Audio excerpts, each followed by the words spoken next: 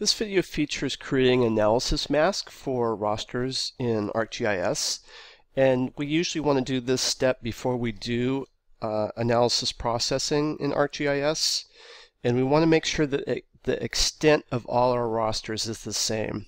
Uh, if we want to we can just use a rectangular um, structure to the raster that's fine uh, but oftentimes we want to just do the analysis within a certain geometry and oftentimes that geometry can be kind of complex.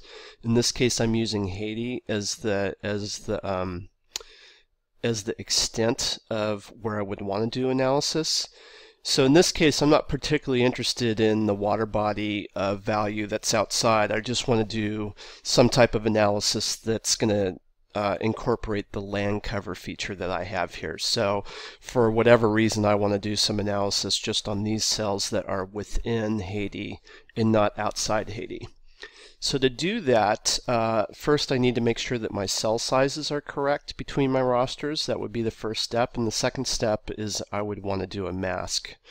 So setting up a mask, you want to make sure that everything's in the same coordinate system. Um, in this case, I'm in a degree system or in an unprojected system. Uh, I can still run run uh, this process uh, in unprojected system. That's okay. So what I'm going to do here is I'm going to use the boundary of Haiti admin as what's called the mask. And there's two ways that we can do a mask. We can either use a raster, another raster, and its cells become the mask, or we can actually use a vector feature. So either one will work, and I'll, I'll show you the difference between the two here in just a second. So uh, to get started, I have two things in my table of contents. In this case, I have a vector for Haiti admin, and then I have a land cover feature, or a land cover raster uh, for Haiti.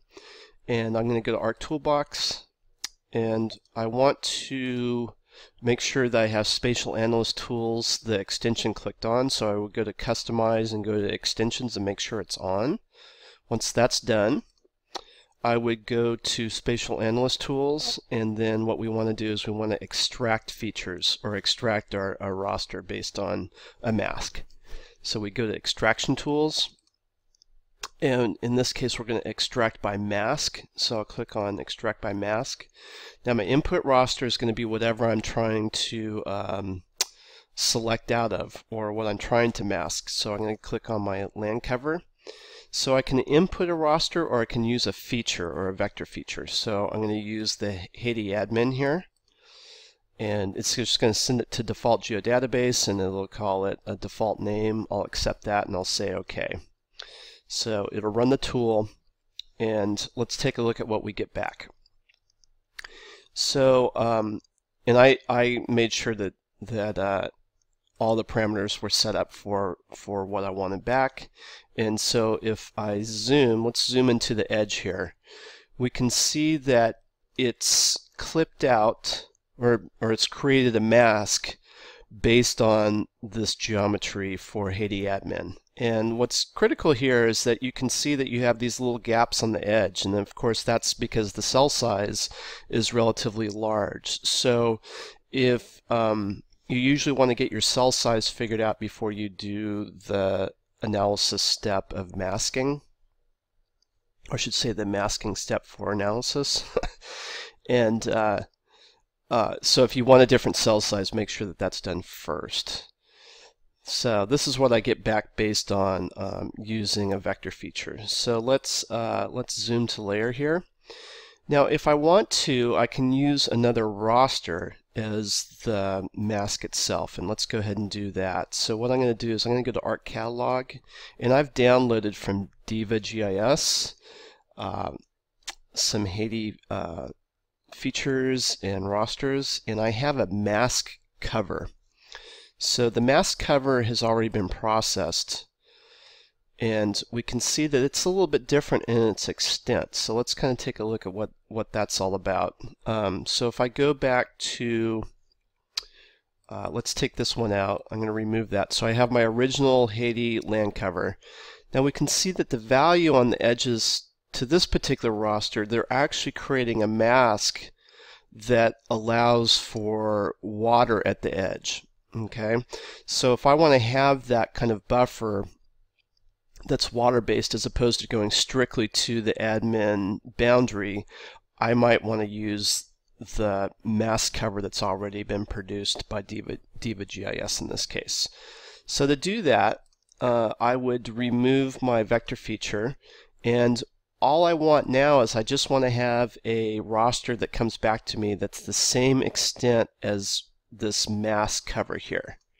Okay, so it's going to go right to, if we zoom in here, it's going to go right to this edge.